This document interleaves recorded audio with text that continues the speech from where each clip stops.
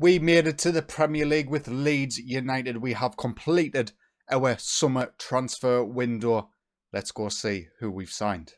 So every single summer transfer window, when you get newly promoted, is an absolutely huge one. Have we been able to do enough to at least match or beat Barnsley's point total? Let's have a look. We'll quickly go through the outs though. Angelo Endreka, who was our starting left back, for our championship season has left to join at Newcastle for was that 15 million pounds there or thereabouts. Uh, he was a decent option for us, so I would have been happy to keep him as a backup option, but 15 million, uh, can't turn that down. Next up to leave was Xavier Mbayamba, who's went and joined Feyenoord for a fee that could rise to 15 million, 11.75 million pounds initially. Again, another option who I would have been happy to stay at the club and be a backup for us, but that amount of money we have got to make back because we did spend quite a bit. Matty Cash, our backup right back, has went to join Sporting Gijon for £10 million straight. 30 years old, English. Um, again, another one I wouldn't have minded keeping a hold of, but at 30 years old for 10 million, you're never going to get more than that amount of money for this lad, so I was happy to cash in. Next up to leave was Sebastian Caceres. He's went and joined Al Shabab for a fee which could rise to £9 million.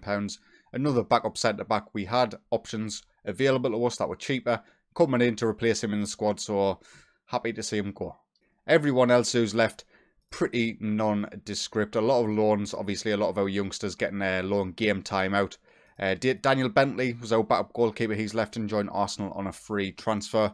Um, I was just happy to get him off the wage bill, to be quite honest with you. Uh, apart from that, everyone else is pretty much sorted. Let's move on to the ins, where we start with our one and only loan signing, Luke Thomas from Aston Villa. He's going to be at us on loan for the rest of the season. He basically replaces Endreka in the squad, and I was happy to do this. He's not paying anything in terms of a monthly fee. We are paying the entirety of his contract during this season, but um, a good English backup which will help with squad registration. Pietro Porcino signed permanently. We did see this boy in January as we approached to sign him on a free transfer. He is now coming in as our backup central midfielder to Kevin Maguire. I will give this boy a plenty of game time. Connor Aiden, another one that we signed on a free, this time joining from uh, Galatasaray. We have accepted loan bid, so we won't be seeing him this season, but another good signing in my books. Heinz Honef, which I don't think we've seen, signed on a free from Hoffenheim. He's actually going to come in and be my backup goalkeeper. Again, another one who I want to give as much game time as humanly possible. Cup competitions and stuff like that, he will always be starting. Two-star current, five-star potential. Good to get a youngster in. Next up was a bit of a gamble from me that didn't really play off was Jason Westbrook. He looks like a very, very good winger for 750k. Um, English as well, but two-star current, three-star potential. He's in our under-23s. I will try and loan him out, but um, a little bit of a failed transfer this one. Samuel Bernat comes in to replace uh, Xavier Mbayamba as our backup centre-back. 850k from Slovan Bratislava. Uh, he can play at left-back, perfect at centre-back, fantastic physicals, decent mentals, needs to work on that heading. That's one of the major downfalls with this boy. But other than that, he's absolutely fantastic. And another one who I've got a lot of players who I need to give game time to. Next up was another field signing. Darren Hughes from Dundee United for £1.1 million. He looked like a great little left back option who could potentially come in and be our backup for the season. But having getting him into the squad, I'm not particularly pleased with exactly what I'm saying. Again, another one. I'm going to have to try and loan out and just hopefully not make a loss on him. Now we're starting to move into some of the bigger boys. Alvaro Yepes from Deportivo Cali for £1.3 million. A Colombian regen who will come in and probably be our starting right midfielder as long as he's fit and not on international duty, which he is on today. Uh, very physicals to dream of. Mentals are good in the right areas. That 17 flair is a big boon. His technicals are decent as well. Needs to work on his technique and his passing, but we've got him doing that in the individual training. And I think he's an absolutely fantastic signing for 1.6 million quid. 1.3. Javier Cortez joined us from Atletico Nacional for 1.6 million. Another Colombian, this time for the left-hand side. He is very much brought in as a backup to Jim Walker, who will be our starter on that left-hand side. And again, just another good young Colombian player who didn't cost us a lot of money. Three-star current, four-star potential. Again, game time needs to be given. Maybe our most complete signing, at least in terms of how good he is for his position. Federico Piaggio joined us from Boca Juniors for 5.25 million. And now, if you remember back last episode, I said right back wasn't really an area where I particularly needed to strengthen. and I found this man. I just had to sign him.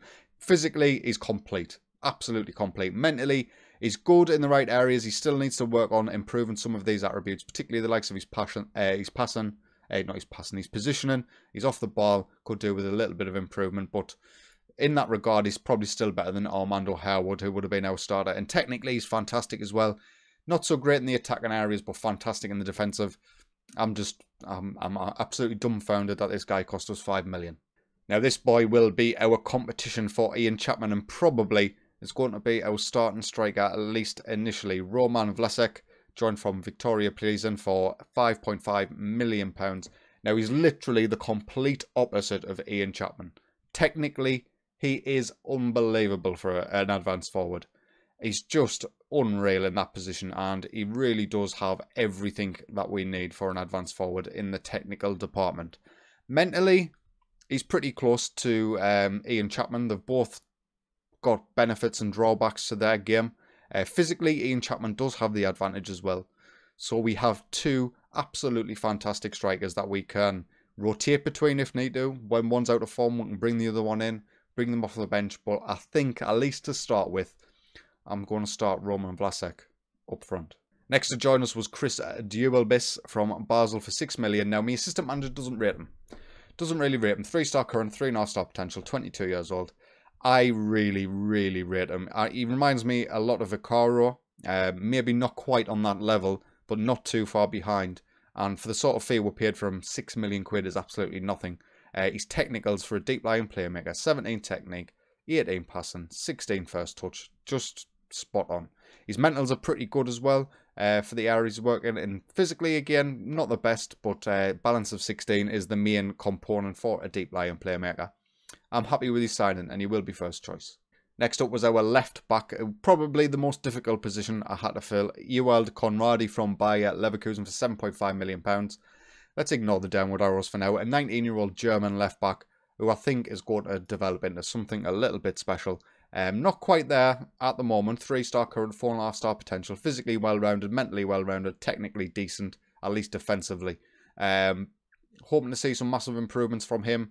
If there's a left back that comes up, becomes available, maybe I might end up make, looking to make the move. Obviously, we're not going to be at Leeds United for three years to allow him to fully develop and see how much we can get out of him. So we're always looking for improvements, but I'm relatively content with him as my starting left back. And finally, the big centre half, the main guy, Gilson, signed from Brazil for £15.5 million. Is he the same level as Dvorak and Andrin Maida? I don't think he is. I think he's close. Don't get me wrong. I think he's pretty close, but he's not quite elite, which them two boys were, especially in hindsight. Um, but I think for the 15, what was it, 15 million we paid, 15.5? Yeah, I think he's well, well worth the money. And he comes in straight away, as our best centre back. And our defence, I think, for Leeds United is the best we have ever, ever had it. In terms of our starting lineup, then, when we are at full strength, this will be it. Hugh Griffiths, of course, remains at the club. He signed a new deal. He did have interest from um, Borussia Mönchengladbach but uh, we managed to tie him down for another five years, which is absolutely fantastic. Piagios comes in, obviously, as the right back. Garinski, who we signed in the January transfer window of last season, uh, maintains his spot at centre back, hoping to see some improvement from him over the course of this season. Uh, Gilson and Conradi, of course, the new signings alongside Duelbis. Uh, Majaya, he's going to be fighting for his spot this season. He's not going to be a guaranteed starter. Porcino obviously comes in and offers us another option in the centre of midfield. So he's going to have to up his game in terms of his development if he wants to maintain as our starter. Yepes, of course, who we've spoke about, he's currently on international duty, so he won't feature today. But um, he will be our starter when he is available. Uh, Granger is our starting attacker midfield centre. I looked, trust me, I looked to try and find somebody who was a step above Richard Granger. And I couldn't quite find them. So he keeps his spot at least for the first half of this season in attack and midfield. Uh, Walker, of course, keeps his spot at left wing. Developed lovely last season, became natural at the left wing. I need to give him a season in the Prem to see how he can get on. And then Vlasek up top. Um, Ian Chapman drops to the bench, becomes our second choice striker, and it's a fantastic second choice striker to have. So survivors this season, Griffiths, Garansky, uh, Majaya, Granger, Walker, so a lot more survivors from our championship season than we've ever had previously. And then we've still got the likes of uh, Chapman, of course, Kazim Etem, our backup right winger, who will be starting today. Um, and some others. Uh, Abia ended up keeping his spot as well, being an English lad, available all across the attacking midfield. Felt like it was a good bit of business to keep him at the club rather than try to sell. Um, so that's pretty much it for our incomings. And I'm relatively pleased with how we've been able to handle ourselves in the transfer market. Squad registration didn't become an issue, and we managed to keep our foreign players to limited to 17, which is absolutely fantastic. And we've got ourselves set up for the start of this season, the first game of which is at home against Arsenal. Great start, obviously champions three years ago. I'm not sure what they did last season, finished in third. Um, so a massive, massive uh, game in our first game. Unlikely to get the win today. Hoping for a draw. We'll have to wait and see how that goes. But let's have a quick check to see if there's been any major sales in our other former clubs. And I know there's been one. Lewis Montagneo leaves Barnsley after, what, six years? Seven years? Absolutely unbelievable. He's left to join Atletico Madrid for £71 million. He did develop into an elite striker and he banged in the goals for Barnsley. I believe he finished top goal scorer in the Premier League last season and he has now left. And Tony Herrero has left to join West Ham for £23.5 million. They've got themselves an absolutely fantastic left back. We signed him for three and a half. Now, our very first, uh, no, was our very first summer transfer window? No, second one. We were in the championship when we signed him anyway. Doesn't look like any of our other players. Mean, there's not many of them left at Barnsley, to be honest with you, but none of the others have left. Pasquale Franchi, the biggest signing, the replacement for Montagneo. Not a bad one. Birmingham, have you broken me heart? Any sales? Ah, oh, Yavs, Alberto Salenza. Oh, any others? I Don't think there is. So Salenza, of course, we never actually managed him, but we did sign him on a free for Birmingham before we left. And he has now joined FC Bayern Munich for a very cheap deal. 63 million. Disappointed with that. Looking on the ins though, Luke Daly, the biggest transfer, joins from Huddersfield, the left back who of course we had for 33 million. Not a bad signing. And finally, we know who a sale is for Huddersfield. Obviously, Luke Daly leaving the club. Samuel Stankos left the club as well, joined Slavia Prague for 5.75 million. Not a bad deal. Um, we signed him for 2.2, I believe. Biggest signing, Lewis Cook. Boring. 31 years old. Stupid Huddersfield. Right then, that's enough of our former clubs. Let's get into today's fir- well, today's first and only game, which is of course against Arsenal. So they come at us. I remember getting battered off Arsenal a few times. They've got no rate. Oh, they've got one. Adam on the right. Jesus Christ. Look at the state of him. 81 million pounds from Borussia Dortmund. And he is absolutely top quality. Unbelievable. One of the best regens I've saw so far this save. But apart from that, they've got all uh, regular players, normal players. I mean, Guri's still sitting up top for them. He's developed fantastically on this save. 28 years old now. We're likely to get stuffed this game. But I am going to go for it. We'll see how we get on and see how our new boys perform. First highlight of the game comes three minutes in. We pinch the ball in an advanced area with Jim Walker. Richard Granger plays it back to Gilson. Go on, Jubilbis. Use your playmaking ability to find Etem. Piaggio is overlapping on the right hand side. The ball's whipped in. It's cleared. Please win the ball back. Oh, he doesn't, but they give us the ball back. That is absolutely fantastic. Majaya plays it to Jim Walk on the left-hand side. He drives in and shoots. Not far wide. 20 minutes in now. Not a bad start from us at all, I might say. 55% possession. We've had the majority of the shots as well. Half an hour gone, and there's a corner for Arsenal. Can we get it clear? We do. Jubilbis wins it. Kazim him. Get there first. He doesn't. He tries to cut out the pass passing lane, but can't quite get to it. Brian Gets past his man easily, past Piaggio as well. Griffiths with an easy save in the end. Was that the hi- that was a highlight? Okay. Time is just ticking away. We get to the end of the first half. We have a final highlight. 20 seconds remaining. The ball's played out to the left-hand side for Conradi, of course, our new German left back. He bombs down the line. He's getting no pressure. He drives into the box and shoots. That That's the end of the first half. that was a little bit of a strange camera change, but Leeds nil, Arsenal nil. A fantastic first half performance. I'm really, really pleased with what we're seeing right now. We're on attacking as well. It's not even like we are sitting back. Um, maybe I should sit back a little bit and go positive. Are Arsenal going to punish that lack of a change? Yes, they are. they absolutely are. Xavier Adam, of course, the regen who we pinpointed before the match, gets his first goal of the season. Reece James, the man with the assist. And uh, I'm going back attacking. Arsenal have now went on to the counter, so they are definitely wary of our attack. They're not just sticking with their positive mentality, which we were doing in the first half and the beginning of the second. The other highlight, though, 64 minutes in, they're in possession. Brian brings it down the right hand side, cuts in, gets past the left back and shoots. Griffiths keeps it in. Good lad.